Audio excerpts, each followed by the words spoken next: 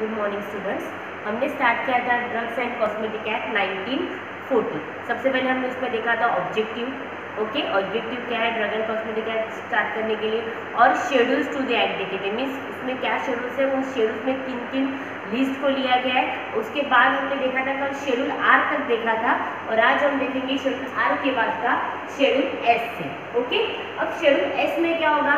Standard for cosmetics means cosmetics के लिए जो भी स्टैंडर्ड्स चाहिए, जैसे हमने कहा था कि ड्रग्स के लिए स्टैंडर्ड चाहिए हंड्रेड परसेंट प्योर ड्रग चाहिए और फिनिश प्रोडक्ट होना चाहिए उस पर इवेल्यूशन टेस्ट होने चाहिए, ये रहेगा स्टैंडर्ड्स तो वैसे ही कॉस्मेटिक्स के लिए जो भी स्टैंडर्ड्स रहेंगे, वो किसमें आएँगे? शेड्यूल एस में. ठीक है?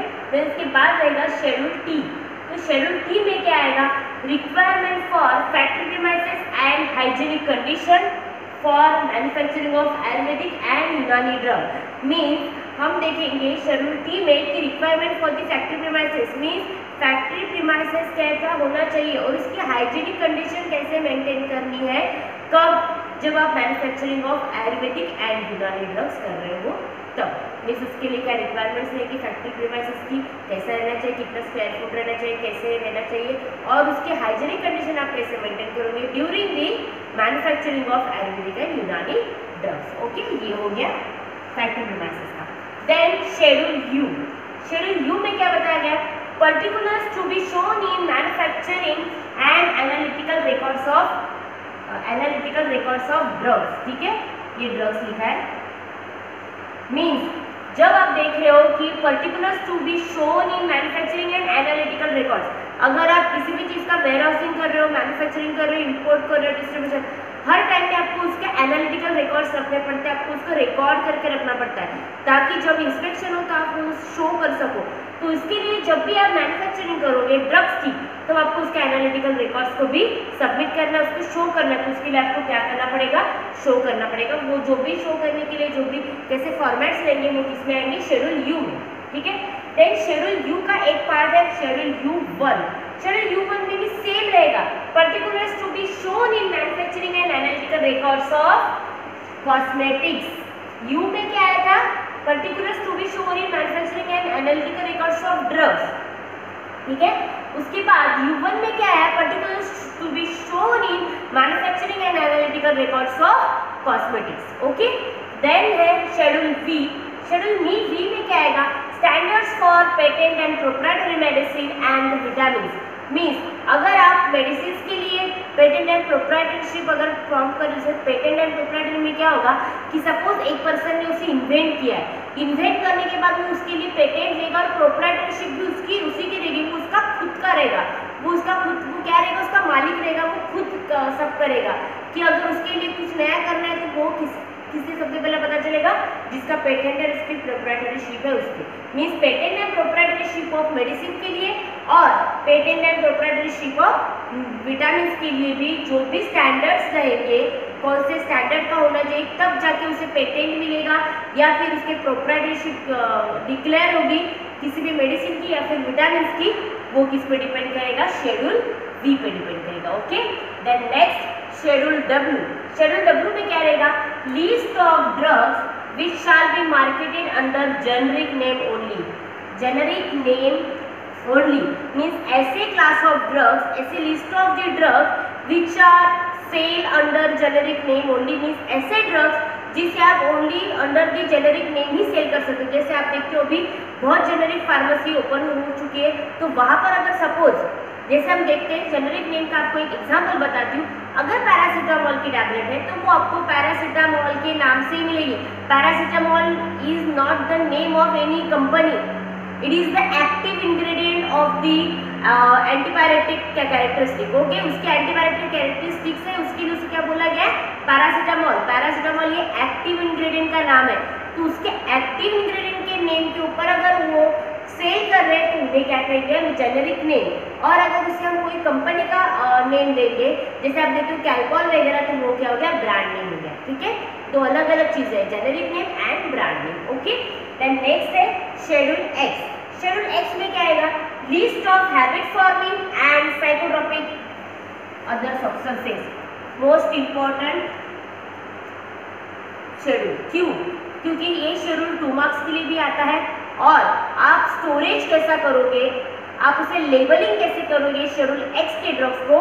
ये भी थ्री मार्क्स के लिए अलग से क्वेश्चन पूछा जाता है। तो आपको जब भी अगर नींद में से पूछा जाए कि what is schedule X drugs तो आपको बताता रहना चाहिए कि शेड्यूल एक्स में क्या है?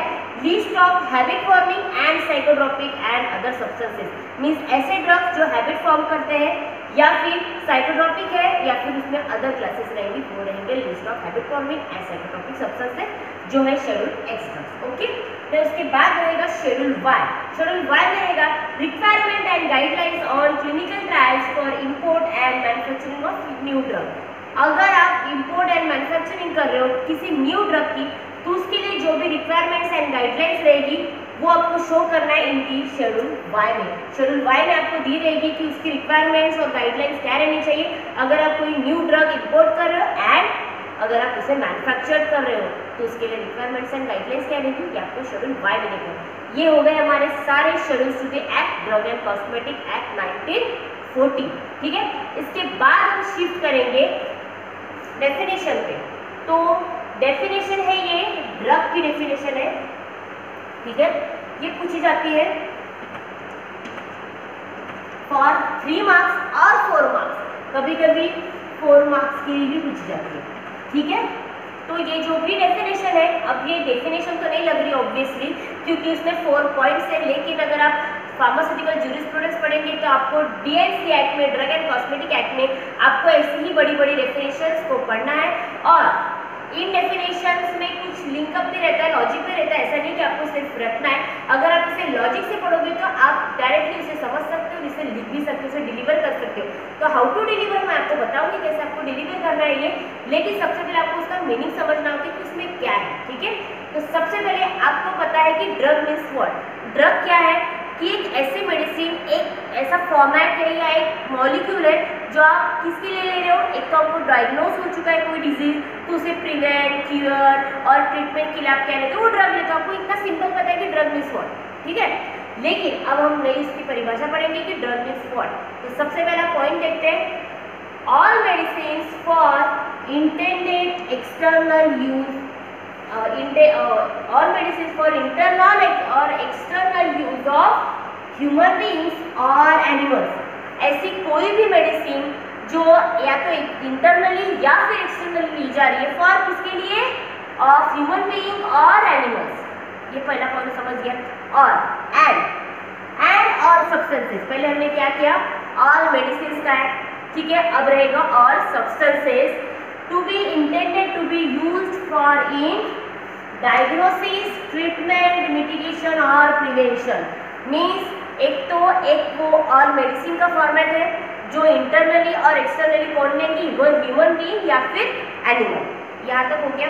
देन या फिर एक ये सब्सटेंस है जो आप इंटेंड कर रहे हो, आप ले रहे हो टेक कर रहे हो, किसके लिए? To be use in for the diagnosis treatment mitigation और prevention of any disease mitigation means prevention और क्योर ही होता है। ठीक है? तो ऐसा कोई सब्सटेंस जो आप ले रहे हो, लेकिन किसके लिए? डायग्नोसिंग के ले रहे हो, या फिर ट्रीटमेंट के लिए ले रहे हो, या फिर प्रिवेंशन के लिए ले रहे हो तो उस ड्रग्स को प्रिवेंशन ऑफ़ एनी डिज़ीज़ और डिसऑर्डर इन ह्यूमन बीइंग और एनिमल क्या होगा? सबसे पहले हमने क्या देखा? मेडिसिन देखी। किसके लिए ले रहे? इंटरनली और एक्सटर्नली ह्यूमन बींग्स और एनिमल्स देन सब्सटेंस ले रहे which is intended for use in diagnosis treatment mitigation prevention of any disease और डिसऑर्डर इन ह्यूमन बींग्स और animals including including preparations applied on human body ऐसे कुछ preparation जो आप क्या करोगे? ह्यूमन बॉडी पे अप्लाई करोगे for the purpose of repairing of insects and mosquitoes means ऐसे कोई सब्सटेंसेस जो आप डायग्नोसिंग ट्रीटमेंट मिटिगेशन प्रिवेंशन में यूज़ कर रहे हो लेकिन किसके लिए? ह्यूमन बींग्स या फिर एनिमल्स uh, के लिए? फॉर दी किसके लिए? फॉर इंक्लूडिंग प्रिपरेशन क्या रहेगा वो? Applied on human body for the purpose of repelling insects और मॉस्किटो मीन्स अगर आप कोई कॉस्मेटिक प्रिपरेशन अगर आप हैंड पे लगा रहे हो, अगर आप इंसेक्ट रिपेलेंट क्रीम लगा रहे हो तो वो भी किसके अंदर आएगी? ड्रग के अंदर आएगी। इसीलिए आप क्या कहोगे? ड्रग कहोगे। ठीक है? आप सिर्फ़ जो ड्रग खा रहे हो, ले रहे हो, उसे ही ड्रग नहीं कहेंगे। अगर आप उसे एक्सटर्नली भी अप्लाई कर रहे हो तो उसे भी हम क्या कहेंगे? ड्रग कहेंगे। ठीक है? ये हो गया सबसे पहला पॉइंट अपना क्लियर देन नेक्स्ट पॉइंट है। Such substance other than food पहले क्या था आपने मेडिसिन देन सब्सटेंस हो गया। लेकिन उसके बाद क्या हो? Such substance other than food अगर आप अदर देन फ़ूड कुछ ले रहे हो other than food intended to affect the structure और any function of human body और intended to be use for destruction of vermin और insects which cause disease in animal means ऐसे कुछ substances जो अदर देन फ़ूड आप intend कर रहे हो, लेकिन वो क्या कर रहा है? आपका स्ट्रक्चर चेंज कर रहा है या फिर आप कोई फ़ंक्शंस को चेंज कर रहा है? उन ड्रग्स को आप जब भी यूज़ करोगे, किसके लिए? फॉर डिस्ट्रक्शन ऑफ़ वर्मिंस के लिए। वर्म्स अगर हो रहे हैं तो उसके वर्मिंस को डिस्ट्रक्ट करने के लिए। या फिर इंसेक्ट्स को डिस्ट्रक्ट करने के लिए। लेकिन वो कहा कि एनिमल्स के तो उससे भी हम क्या करेंगे? ड्रग्स ही करेंगे। ठीक है? और सब्सटेंस और सब्सटेंसेस अदर देन फ़ूड अगर आप इंटेंड कर रहे हो, in which affect the structure or any functions of the human body are intended to be used for destruction of vermin or insects which cause in animals. जो animals के ऊपर act करते हैं इंसेक्ट्स वगैरह, उन्हें भी अगर आप रिपेल करने के लिए, उन्हें भी अगर डिस्ट्रॉय करने के लिए, उन्हें भी अगर डिस्ट्रक्ट करने के लिए अगर आप कोई अदर देन फ़ूड अगर आप यूज़ करें तो उसे भी हम क्या कहेंगे? ड्रग ही कहेंगे। ये आ गया अदर देन फ़ूड वाला, ठीक है? देन इसके बाद है third point all substances intended for used as components of drug including empty gelatin capsules क्या है कंपोनेंट्स ऑफ़ ड्रग मींस जैसे आप देखते हो कि आप सॉफ्ट जिलेटिन कैप्सूल या फिर हार्ड जिलेटिन कैप्सूल लेते हो एज ए ड्रग आपको, आप मार्केटेड प्रिपरेशन अगर आपने जैसे विकासुल की टैबलेट है कैप्सूल है, वो आप ले रहे हो। तो वो जो भी विकासुल की कैप्सूल है, वो आप फोड़ कर, उसके अंदर का इंग्रेडिएंट लेते हो क्या? नो आप उसे वैसे के वैसे ही इंटेक करते हो। तो वो जो भी कैप्सूल है हार्ड जिलेटिन कैप्सूल वो भी आपके पेट के अंदर जा रही है। तो आप उसे भी वो एंटी जिलेटिन कैप्सूल को भी आप क्या कहोगे? ड्रग ही कहोगे। क्योंकि वो आपके पेट में जाने के बाद वो भी सोल्यूबल हो रहा है। भले ही वो कोई एक्शन ना दिखाए, भले ही वो एक्शन ना दिखाए, लेकिन वो आपके ड्रग को प्रोटेक्ट कर रहा है एनवायरमेंट से और आपके गैस्ट्रिक जूसेस से तो उसे भी हम क्या कहेंगे? ड्रग ही कहेंगे। ठीक है? Then next such devices intended, such devices intended for internal and external use in diagnosis, treatment, mitigation or prevention of disease or disorder in human being और एनिमल अगर आप कोई ड्रग या फिर कोई डिवाइस यूज़ कर रहे हो, जैसे आप इम्प्लांट्स देखते हो इम्प्लांट्स हम लेते हैं इम्प्लांट्स हम हमारी बॉडी में बेटर मीन्स बॉडी में हम सर्जरी करके उसे प्लेस करते हैं। उसके बाद उसमें ड्रग रिलीज़ होता है। तो वो भी अगर आप कोई डायग्नोसिस ट्रीटमेंट या फिर मिटिगेशन और प्रिवेंशन के लिए कर रहे हो तो उस डिवाइस को भी हम क्या कहेंगे? ड्रग ही कहेंगे। समझा? सबसे पहले हमने क्या देखा? और medicine internal or external for human being or animal then all substances which are internal or external for uh, used किसके डायग्नोसिंग ट्रीटमेंट मिटिगेशन और prevention of disease in human being और इन एनिमल हो गया? लेकिन including the preparation which are applied on the skin उसे क्या कहेंगे जैसे इंसेक्ट रिपेलेंट होते हैं मॉस्किटो रिपेलेंट होते हैं, वो। फिर उसके बाद अदर दैन फ़ूड अगर रहेगा कोई, अगर वो ह्यूमन बॉडी पे अप्लाई कर रहे हो या फिर वो कोई स्ट्रक्चरल या फ़ंक्शन चेंज करे ह्यूमन बॉडी के तो उसे भी हम ड्रग कहेंगे या फिर ऐसे कुछ प्रिपरेशन वो डिस्ट्रक्शन ऑफ़ वर्मिंग या फिर इंसेक्ट्स को कर रहे इन दी एनिमल्स तो उसे भी हम क्या कहेंगे ड्रग कहेंगे। और अगर कोई एम्प्टी जैसे कंपोनेंट ऑफ़ ड्रग है, जैसे एम्प्टीजिलेटिन कैप्सूल तो आप उसे भी क्या कहोगे ड्रग कहोगे। और अगर कोई ऐसे डिवाइसेस है, जो इंटेंड हम क्यों कर रहे हैं इंटरनली और एक्सटर्नली ड्यू क्योंकि वो डायग्नोसिस कर रहे हैं, या फिर ट्रीटमेंट कर रहे हैं, या फिर प्रिवेंशन ऑफ़ क्योर कर रहे हैं, ऐसे कंडीशन में भी उस डिवाइसेस को भी हम क्या कहेंगे ड्रग ही कहेंगे। ये हो गई हमारी ड्रग की डेफिनेशन जो थ्री मार्क्स के लिए या फिर फोर मार्क्स के लिए पूछ रहा और हर बार आपको पेपर में ड्रग की डेफिनेशन रहेगी मतलब रहेगी। बहुत बड़ा क्वेश्चन लिखने से अच्छा अगर आप डेफिनेशन ड्रग की लर्न करें तो इजीली हो जाए ओके ये आज हमने देखा schedule to the act schedule S से लेकर तो शेड्यूल वाई तक, और आज हमने देखा और ड्रग्स की डेफिनेशन ओके ठीक है थैंक यू